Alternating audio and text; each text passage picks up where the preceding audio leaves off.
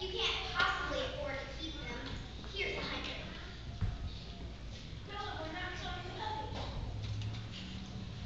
Seriously, you must be joking.